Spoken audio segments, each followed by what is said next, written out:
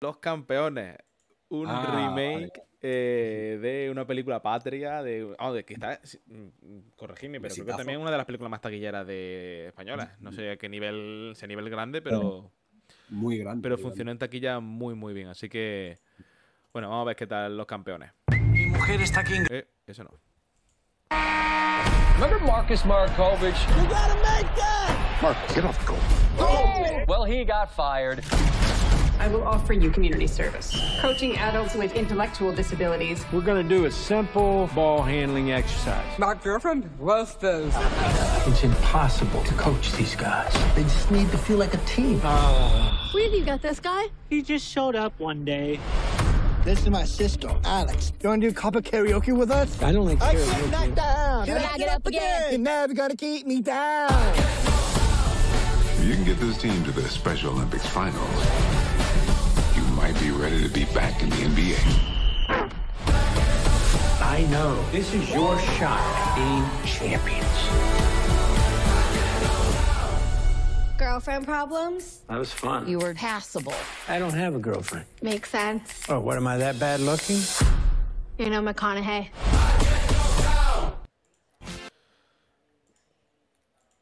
Bueno, pues... Bueno, Pues otra más, ¿no? te ha quedado buena tarde. ya ves. Vamos a tomar un café, ¿no? Hombre, a ver, yo tengo que. voy a- Yo voy a lanzar una. Voy a tirar una lanza a su favor. Y tengo que decir que creo. Creo que aquí va a funcionar medianamente bien. Y en general. ¿Aquí dónde?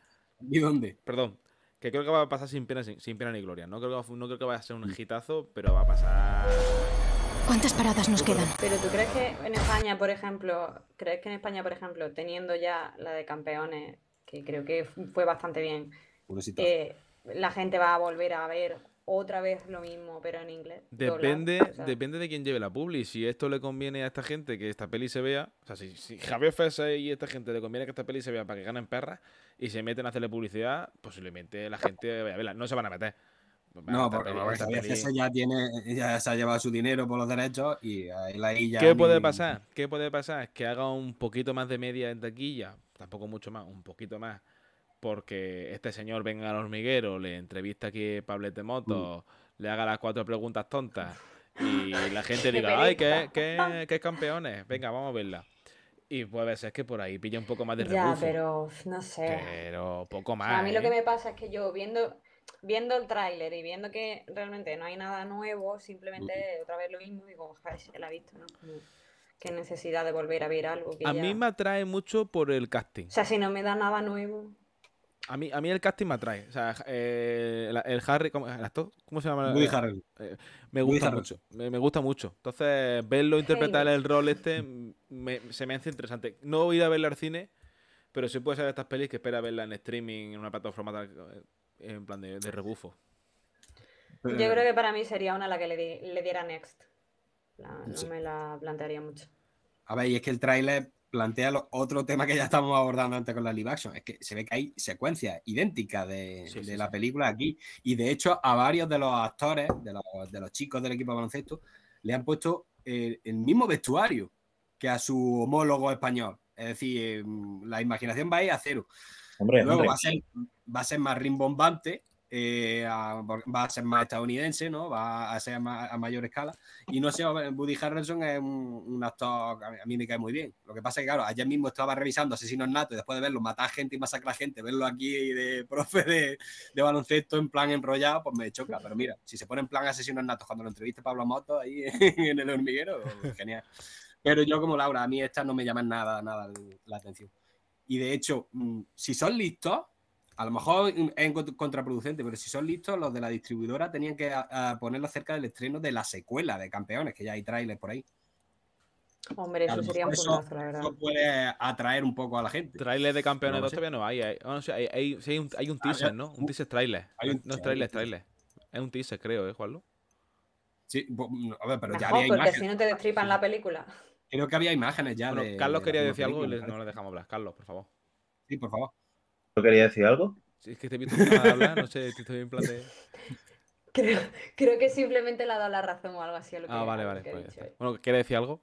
No, sí, estaba buscando. La secuela de Campeones se estrena el 18 de agosto. Eh, no sé esta para cuándo tiene fecha de estreno, no sé si lo pone en el tráiler. Mm, eh, si se ha estrenado el tráiler es que... No lo sé, espérate. Bueno, a veces se estrenan los trailers un año antes de que se estrene la película. hablar ¿eh? mientras busco la información, yo lo digo. O buscarlo alguno. Haced lo vuestro.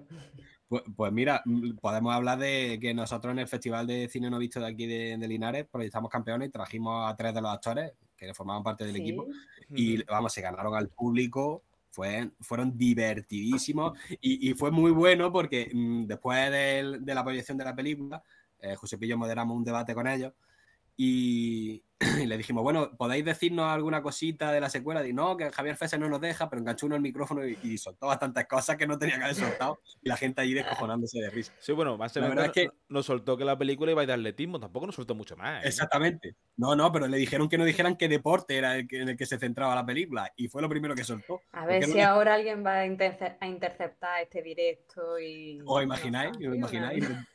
Que la peli de los de... Nos llama Universal de verdad. El 24 de marzo se estrena esta, la de los campeones. Vale, O sea, mismo. entonces- La, el mes que viene, la semana que viene no la otra, creo. Vale, vale, vale. Pero vamos, que sin pena ni gloria. Ya os digo yo que sin pena ni gloria. Mm, Posiblemente. Si se mantiene, fíjate lo que te digo, si se mantiene como se ha mantenido mi vecino Otto, o sea, el, el peor vecino del mundo, Mm. perdón. Si se mantiene como se ha mantenido Sí. esa película, que se ha mantenido y así es un fracaso absoluto, se pueden dar con un canto a audiencia aquí en España. Pues sí. Pero claro, es, es, es que esa- de esa película poca gente sabe que es un Pero remake. Woody Harrelson no tiene el tirón que tiene Tom Hanks. Ni Javier Gutiérrez. Claro, Ni Javier pero Gutiérrez. estoy contando con que la gente sepa que es un remake de campeones y eso sea la llamada de atención, no el prota, ¿sabes? Hombre, sí, que lo no sé si va a funcionar eso. ¿eh? Que yo no sé si... Yo, yo no creo que funcione porque se va a pisar con la secuela. Es posible. Y la gente tiene muchas más ganas de ver la secuela que un Hombre. remake Hombre, americano. Hombre, hombre. estadounidense. De aquí a Lima, Cierto. vamos, de aquí a Lima.